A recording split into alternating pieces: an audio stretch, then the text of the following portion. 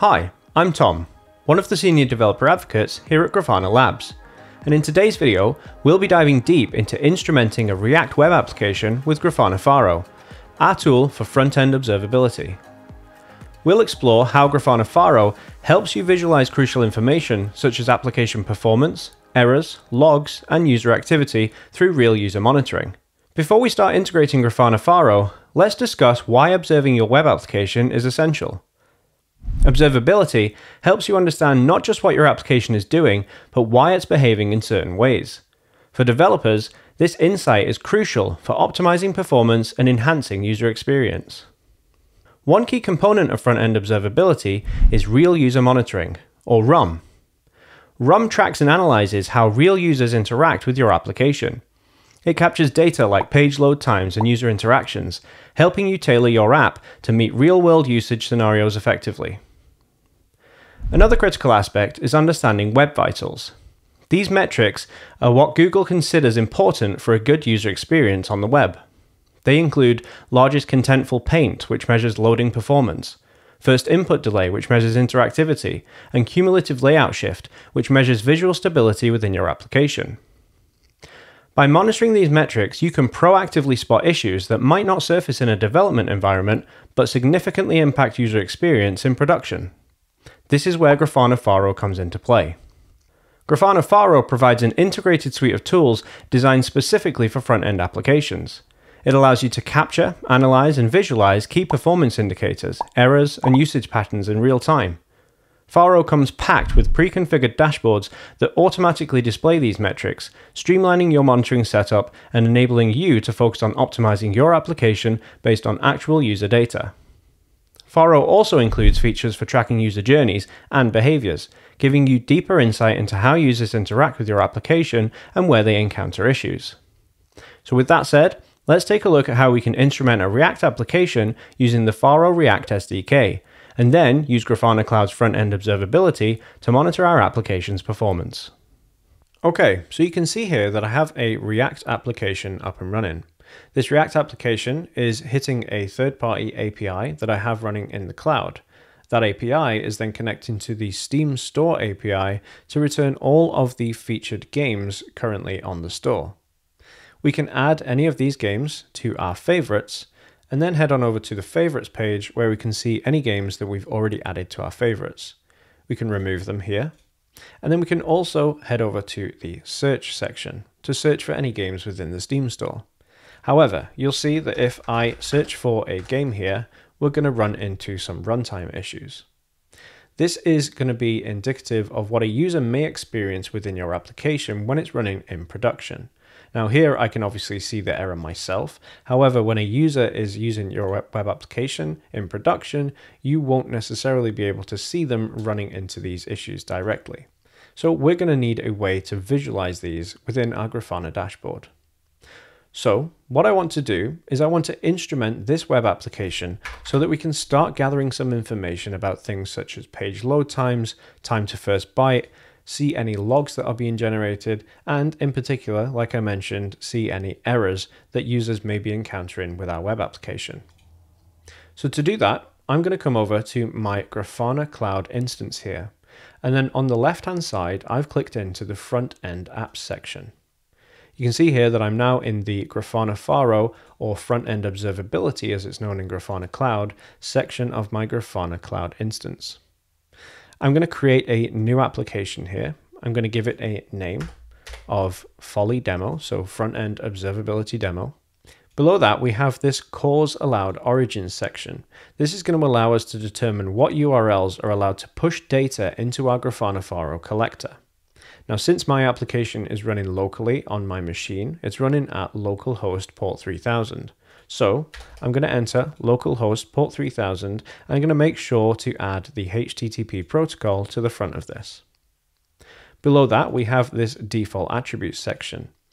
This is going to allow us to add metadata to any logs, events, and errors that go into Grafana Faro collector by default, which means that we don't have to manually add these to anything that we're pushing from our application. This allows us to save bandwidth, and it means that we can add things that will always be present. So for example, here I'm going to add an application name parameter, and it's always going to have a value of Steam Store front end so that we can search for that within the logs. Below that, I'm going to acknowledge that this is going to incur some costs to create, and then I'm going to press the create button. We've now been taken to the front-end observability application that's specifically been created for our Folly demo. And we've gone to the Web SDK configuration tab by default. This is going to tell us how to instrument our application by adding some code to the start. Here I'm going to copy this code block and we're going to make some changes to this. You'll note that this is importing from a Faro Web SDK package. However, my application is running as a React application rather than a standard JavaScript application. So there's specifically a package for Grafana Faro when you're using React. And I'll show you how to do that in a second. So we'll copy this and we'll head over to our application's code. The first thing I'm going to do is I'm going to import the packages that we need via npm. So let's stop the application from running and I'll run npm install. And we're going to install the Grafana Faro React package instead of the Faro Web SDK. And then I'm going to install the Grafana Faro Web Tracing package. With those two packages installed, let's paste in the initialization code that we copied before. I'm going to make a few changes here. So you'll see that again, this is importing from the Faro Web SDK package. I'm going to change this so it imports from the Faro React package. I'm going to remove the Faro variable here because we're never going to use that. And then down here below, what I want to do is I want to instrument our React router so that we can start seeing page load information errors in the context of our individual routes. So for example, our home, favorite, search, and so on. To do that, I'm going to import a few things from React Router DOM up here. And then I'm also going to import a couple of extra things from this Faro React package. So I'm going to import the React integration and the React Router version. Then down here where we have our instrumentation section of our Faro initialization, I'm going to add a new instrumentation here. This is going to be our React integration. You can see here that I've got a router property. I'm specifying the version as React Router version version 6, and then I'm passing in all of those dependencies that I imported previously. You can find all the documentation for how this React integration works on the Grafana Faro documentation. I'll leave a link to that in the description below. But for now, let's save this page, and we're going to have to make one small change in our app.js file. And this is where our routes live. Instead of using the routes component from React Router, we're actually going to use a Faro routes component. So let's remove the import for the routes object here. And then let's import our Faro routes component from our Faro React package. And then let's save that. We'll run the application again with npm start. And now what I want to do is I want to click around in our application a few times just to try and start generating some data here. So let's refresh this page a few times. We'll head on over to our favorite section. Let's perhaps remove a couple of favorites here.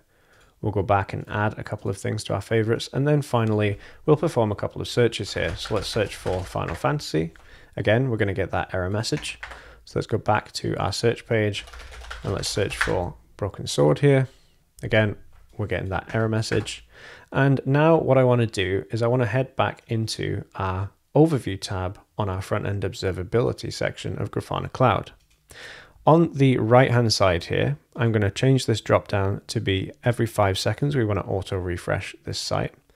And then we'll start seeing, once we refresh this page, some information being sent to our Grafana Faro instance and being visualized here on this dashboard. So you can see that already we're getting seven page loads. We've got all of our Web Vitals information here up top, such as time to first byte, first contentful paint, largest contentful paint, cumulative layout shift, first input delay, and interaction to next paint. We then also have an indication of how many errors have been encountered on our application. Below that, we have our page loads and errors in real time. And you can see here that we have our page loads and then errors here are displayed in red. Below that, we have our page performance section. Now this is split out by route because we integrated that React integration for our React router. We're getting all of the information split out by, for example, our favorite section, our search page, and our route page here. And then below that, we have three panels here, which are 75th percentile indicators for things such as page load, cumulative layout shift, and input response time. This is going to give you a broad strokes overview of what the vast majority of users are experiencing with your application. Now, with all of this information, the first thing I want to immediately draw my attention to is this two errors here up at the top. I want to figure out what's happening within my application, what errors the users are experiencing, and then figure out if I can fix it. So at the top here, where we have our tabs, let's click into the errors tab. And you can see here that we get this page load and errors timeline again, but we also get this top errors section and top page routes by error count. And this immediately indicates to me that we've got a 404 request failing, and we also can see that it's on the search page. So let's click into this error here. And you can see that we get the full stack trace for this error. It's an Axios error and it's request failed with status 404. And we can see that it's happened on the search page. So let's come back into our overview dashboard here.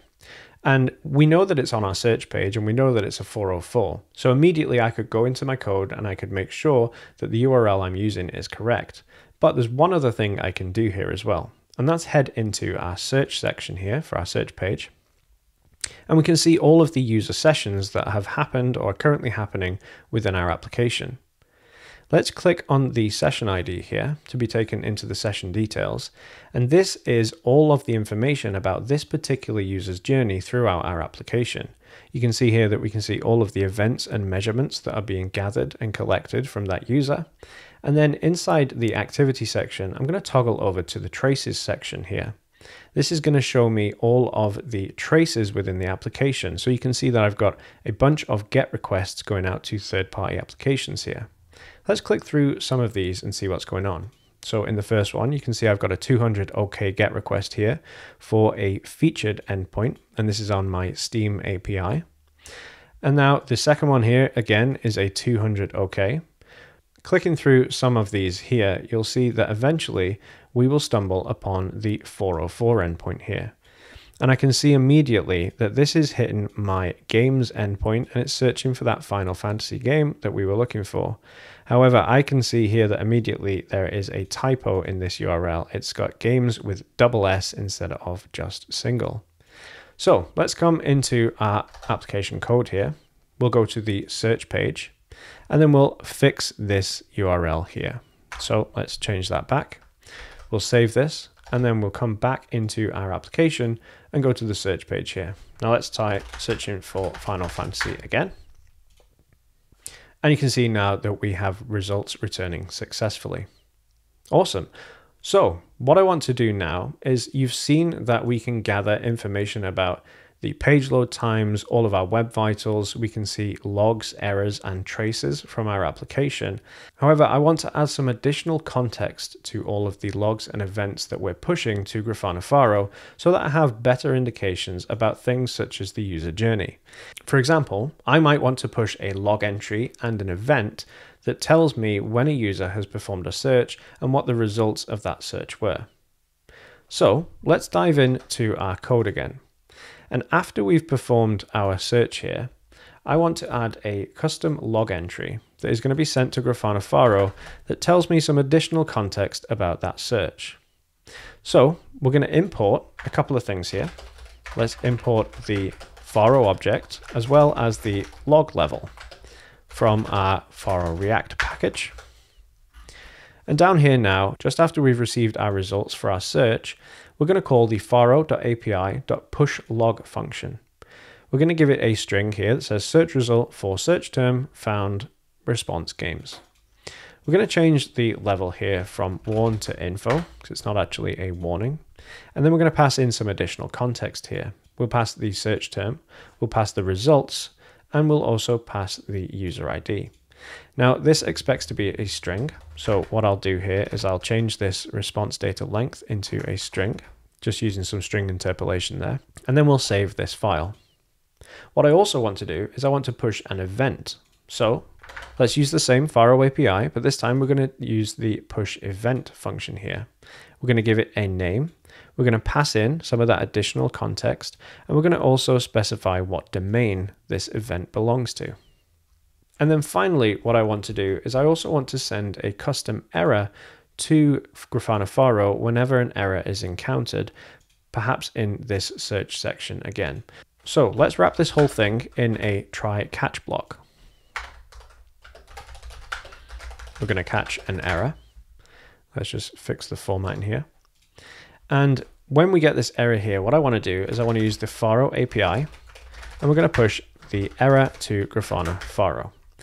The other thing I'm going to do here is I'm going to do set is loading to be false, just so the user isn't presented with a continuous loading spinner.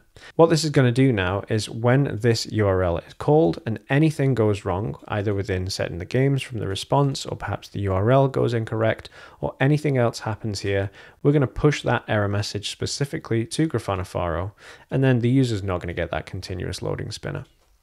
So let's save this now and let's go back to our application. We'll go to our search panel here. And now if I type in, let's say, for example, broken sword, and we can see the results here. Let's add some things to our favorites. And now let's search for example, Master Chief. And we can see the Master Chief collection has come up here. I want to add that one to my favorites as well. And now let's dive back into our Grafana front-end observability dashboard here for our application. And what I want to do now is under our page performance section, I'm going to click on the search endpoint here.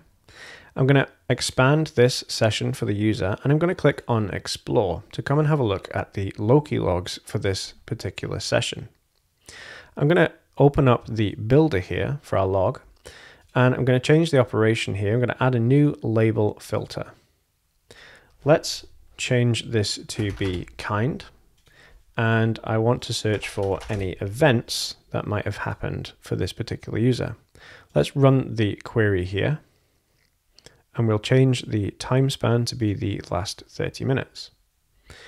And if we come down into our logs here, you'll see that we have all of the events that have been captured for this particular session. And you can see here, there's an event with a name of search, Let's scroll down on the page a little bit here and you can see all of the information for this particular search event that I've just pushed from my code specifically.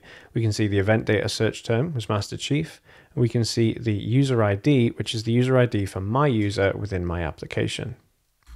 Let's also come up here and change this kind to log and we'll be able to see the custom log entry that we sent as well. So here inside of our logs panel, you can see a message of search result for Master Chief found one game. We'll scroll down and we can see that additional context. There was one result. The search term was Master Chief. And again, we've got the user ID for our user there.